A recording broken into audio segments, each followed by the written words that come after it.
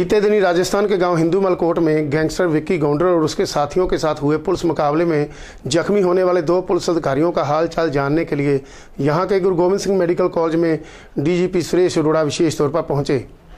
इसके साथ ही जैतो के यूनिवर्सिटी कॉलेज में धरने दौरान गोली लगने से जख्मी होने के बाद दम तोड़ने वाले हवलदार लाल सिंह के अंतिम संस्कार में शामिल हुए और श्रद्धांजलि अर्पित की। इस मौके फिरोजपुर के डीआईजी रविंदर पाल बठिंडा, रेंज के IG M S Sheena, SSP doctor Nanak Singh के साथ पुलिस के आला अधिकारियों और मृतक लाल सिंह के रिश्तेदार नजदीकियों द्वारा भी श्रद्धांजलि दी गई। मीडिया से बातचीत करते डीजीपी अरोड़ा ने कहा कि वो विक्की गौंडर मुकाबले में जख्मी अधिकारियों का हाल जानने पहुँचे हैं। मीडिया द्वारा किए सवालों का जवाब देते डीजीपी अरोड़ा ने कहा, विक्की गौंडर और कांग्रेसी नेता अवतार हेनरी के संबंधों के बारे किसी ने उनको दरखास्त दी है जिसकी वो जाँच कर रहे हैं। उन्होंने कहा, जैतो में घटी घटना उनके पुलिस सर्विस की पहली घटना है जो बहुत मंदभागी है। उन्होंने कहा कि अधिकारियों और पुलिस मुलाजमों को बहुत जल्द परीक्षण दिया जाएगा, ताजो जैतो जैसे हालातों से निपटा जा सके। एक और ताज़ा खबर उभर कर सामने आ रही है, जिसमें डीजीपी अरोड़ा द्वारा गुरमीत सिंह एस एसएचओ जैतो को लाइन हाजिर कर लिया गया है और उनकी जगह फरीदकोट के थाना प्रभारी जगदेव सिंह को जैतो का एडिशनल चार्ज दे दिया गया है। फरीदकोट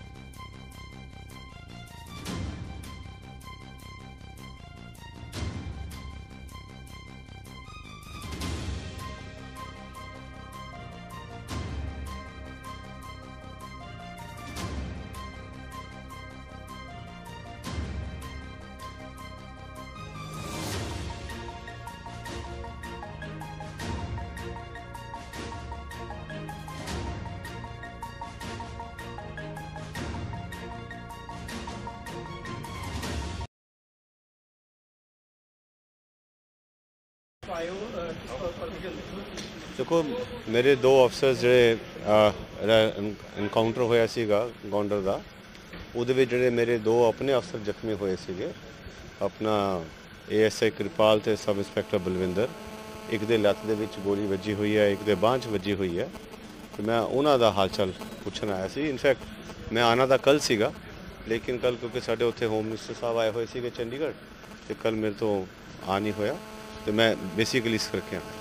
ਸਰ ਇੱਕ ਜਿਹੜਾ ਵਿੱਕੀ ਗੌਂਡਰ ਵਾਲਾ ਜਿਹੜਾ ਹੈਗਾ ਮਾਮਲਾ ਹੋਇਆ ਹੈਗਾ ਉਹਦੀ ਸਾਰੀ ਕਾਰ ਹੈ ਜਿਹੜੀ ਅਵਤਾਰ ਹੈਨਰੀ ਨਾਲ ਦੱਸੀ ਜਾ ਰਹੀ ਹੈ ਕਾਂਗਰਸੀ ਲੀਡਰ ਨਾਲ ਉਹਦੇ ਬਾਰੇ ਕੀ ਕਹਿਣਾ ਤੁਹਾਡਾ? ਕਿਉਂਕਿ ਉਹ ਤਾਂ ਜਿੰਨਾ ਕੁ ਮੈਨੂੰ ਪਤਾ ਹੈਗਾ ਕਿਸੇ ਨੇ ਐਲੀਗੇਸ਼ਨ ਲਗਾਇਆ ਹੈ। ਤੇ ਉਹ ਐਲੀਗੇਸ਼ਨ ਠੀਕ ਹੈ ਕਿ ਗਲਤ ਹੈ ਕਿਸ ਟਾਈਮ ਤੇ ਲਗਾਇਆ ਹੈ। ਔਰ ਦੂਜੇ ਪਾਸੇ ਉਹਨਾਂ ਦਾ ਵੀ ਆਪਣਾ ਜਵਾਬ ਆਇਆ ਹੋਇਆ ਹੈ। ਤੇ ਵੀ ਵਿਲ ਸੀ ਇੱਕ ਜਿਹੜਾ ਜੈਤੋ ਦੇ ਵਿੱਚ ਘਟਨਾ ਵਾਪਰੀ ਹੈਗੀ ਹੈ ਥੋੜੀ ਜਿਹੜਾ ਹੋਇਆ ਹੈਗਾ। ਇਹਦੇ ਬਾਰੇ ਤੁਹਾਡੀ ਕੀ ਵਰਸ਼ਨ ਹੈ? ਕਿਉਂਕਿ ਮੈਂ ਹੁਣੀ ਕਮਿਸ਼ਨ ਅਟੈਂਡ ਕਰਕੇ ਆਇਆ ਆਪਣੇ ਪਟਿਆਲੇ ਡੀਐਸਪੀ ਸਾਹਿਬ ਦੀ ਸਾਡੇ ਸਪਾਈ ਹੈਗੇ ਉਹਨਾਂ ਦਾ ਵੀ ਹੁਣ ਸੰਸਕਾਰ ਹੈਗਾ ਮੈਂ ਉੱਥੇ ਹੀ ਜਾ ਰਿਹਾ। ਉਹ ਇੱਕ ਬੜੀ ਅਨਫੋਰਚੂਨੇਟ ਘਟਨਾ ਹੈਗੀ। ਔਰ ਅ, ਮੇਰੇ ਆਪਣੇ ਪੁਲਿਸ ਸਰਵਿਸ ਦੇ ਲਾਈਫ ਟਾਈਮ 'ਚ ਪਹਿਲੀ ਇਸ ਤਰੀਕੇ ਦੀ ਘਟਨਾ ਹੋਈ ਹੈ। ਤੇ ਇਸ very unfortunate sir Vicky Gounder ਦੇ ਐਨਕਾਊਂਟਰ ਤੋਂ ਬਾਅਦ ਅ, ਲੱਗਦਾ ਹੈ ਕਿ ਗੈਂਗਸਟਰ ਦਾ ਕੁਝ ਮਨੋਬਲ ਟੁੱਟਿਆ ਹੈ। ਅੱਜ ਇੱਕ ਗੁਰਪ੍ਰੀਤ ਗੋਪੀ ਨਾਮ ਦਾ ਵੀ ਗੈਂਗਸਟਰ ਪਕੜਿਆ ਗਿਆ ਔਰ ਕੱਲ ਇੱਕ ਸਰੈਂਡਰ ਵੀ ਕੀਤਾ ਕੀ ਲੱਗਦਾ ਕਿ ਇਸ ਤਰ੍ਹਾਂ ਕੁਝ ਰਾਹਤ ਮਿਲੇਗੀ ਪੰਜਾਬ ਨੂੰ ਕੁਝ ਗੈਂਗਸਟਰਾਂ ਨੂੰ? ਦੇਖੋ ਇਹ ਨਹੀਂ ਹੈਗਾ ਕਿ ਵੀ ਹੁਣ ਜੇ ਆਪਾਂ ਪਿਛਲੇ ਸਾਲ ਦੇਖੀਏ ਪਿਛਲੇ ਸਾਲ ਜਿਵੇਂ ਮੈਂ ਪਹਿਲਾਂ- ਵੀ ਜ਼ਿਕਰ ਕੀਤਾ ਸੀਗਾ ਕਿ ਅਸੀਂ ਫੋਕਸ ਕਰ ਰਹੇ ਹਾਂ ਜਿਹੜੇ ਮੇਨ ਗੈਂਗਸਟਰ ਹੈਗੇ ਔਰ ਉਹਦੇ ਵਿੱਚ 9 ਲਾਸਟ ਈਅਰ 9 ਏ ਕੈਟਾਗਰੀ ਦੇ ਗੈਂਗਸਟਰ ਜਿਹੜੇ ਕਿ ਪੰਜ ਉਹਦੇ ਚੋਂ ਨਕਲ ਫੜੇ ਗਏ ਸੀ ਤੇ ਸ਼ਾਇਦ ਚਾਰ ਮਾਰੇ ਗਏ ਸੀਗੇ। ਤਾਂ ਇਹ ਨਹੀਂ ਹੈਗਾ ਕਿ ਵੀ ਪੰਜਾਬ ਪੁਲਿਸ ਇਹਨਾਂ ਵੱਲੋਂ ਕੋਈ ਮਤਲਬ ਧਿਆਨ ਨਹੀਂ ਦੇ ਰਹੀ ਸੀ। ਇਹ ਸਾਡੇ ਆਪਰੇਸ਼ਨਸ ਪਹਿਲਾਂ ਵੀ ਚੱਲ ਰਹੇ ਸੀ ਤੇ ਹੁਣ ਵੀ ਚੱਲਦੇ ਰਹਿਣਗੇ।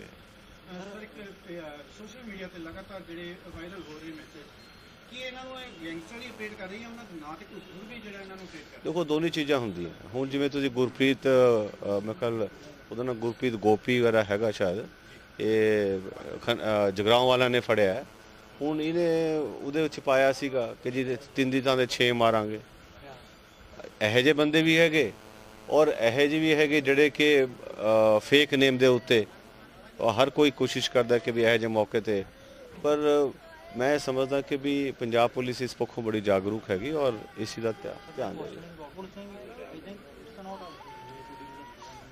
ਉਹਦੇ ਚ ਇਸ ਤਰ੍ਹਾਂ ਹੈਗਾ। ਮੈਂ ਹੁਣੀ ਅ, ਆਂਦੇ ਹੋਏ ਐਸਐਸਪੀ ਸਾਹਿਬ ਨਾਲ ਸਾਰਾ ਡਿਟੇਲ ਤਾਂ ਮੈਨੂੰ ਪਹਿਲਾਂ ਵੀ ਪਤਾ ਸੀ ਹੈ ਤੇ ਮੇਰਾ ਖਿਆਲ ਹੈ ਕਿ ਵੀ ਜੇ ਤੁਸੀਂ ਮੇਰੇ ਜਾਣ ਤੋਂ ਬਾਅਦ ਐਸਐਸਪੀ ਸਾਹਿਬ ਨੂੰ ਪੁੱਛੋਗੇ ਕਿ ਵੀ ਕੀ ਫੈਸਲਾ ਹੋਇਆ ਤੁਹਾਨੂੰ ਪਤਾ ਲੱਗ ਜਾਏਗਾ।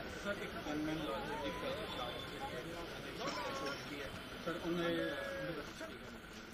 ਮੈਂ ਉਹ ਜਾ ਰਿਹਾ, ਉਹਨਾਂ ਦੇ ਪਿੰਡ ਜਾ ਰਿਹਾ ਘਰੇ ਤੇ ਅਗੇਨ ਅਨਫੋਰਚੂਨੇਟ ਇਨਸੀਡੈਂਟ ਹੈ, ਦੇਖੋ it is a loss to us ਔਰ ਇਹ ਹੁਣ ਮੈਂ ਇਨਫੈਕਟ ਸਾਡੇ ਜਿਹੜੇ ਡਾਇਰੈਕਟਰ ਟ੍ਰੇਨਿੰਗ ਹੈਗੇ ਔਰ ਡੀਜੀ ਟ੍ਰੇਨਿੰਗ ਸਾਡੇ ਹੈਗੇ, ਮੈਂ ਉਹਨਾਂ ਦੇ ਨਾਲ ਵੀ ਗੱਲ ਕਰ ਰਿਹਾ ਕਿ ਵੀ ਅਸੀਂ ਟ੍ਰੇਨਿੰਗ ਦੇ ਵਿੱਚ ਕਿਸ ਤਰੀਕੇ ਦਾ ਫਰਦਰ ਇੱਕ ਜਿਹਨੂੰ ਕਹਿੰਦੇ ਹੋ ਵੀ stress provocation anger management crowd dealing ਅਸੀਂ ਉਹ ਸਾਰਾ ਕਿਵੇਂ ਉਹਨੂੰ ਫਰਦਰ लेके आइए ताकि इससे कभी घटना दोबारा ना वापरे बीते दिनी राजस्थान के गांव हिंदू मलकोट में गैंगस्टर विक्की गौंडर और उसके साथियों के साथ हुए पुलिस मुकाबले में जख्मी होने वाले दो पुलिस अधिकारियों का हाल चाल जानने के लिए यहां के गुरु गोविंद सिंह मेडिकल कॉलेज में डीजीपी सुरेश अरोड़ा विशेष तौर पर पहुंचे इसके साथ ही जैतो के यूनिवर्सिटी कॉलेज में धरने दौरान गोली लगने से जख्मी होने के बाद दम तोड़ने वाले हवलदार लाल सिंह के अंतिम संस्कार में शामिल हुए और श्रद्धांजलि अर्पित की। इस मौके फिरोजपुर के डीआईजी रविंदर पाल बठिंडा रेंज के IG M S Sheena, SSP doctor Nanak Singh के साथ पुलिस के आला अधिकारियों और मृतक लाल सिंह के रिश्तेदार नजदीकियों द्वारा भी श्रद्धांजलि दी गई। मीडिया से बातचीत करते डीजीपी अरोड़ा ने कहा कि वो विक्की गौंडर मुकाबले में जख्मी अधिकारियों का हाल जानने पहुँचे हैं। मीडिया द्वारा किए सवालों का जवाब देते डीजीपी रोड़ा ने कहा, विक्की गौंडर और कांग्रेसी नेता अवतार हेनरी के संबंधों के बारे किसी ने उनको दरखास्त दी है जिसकी वो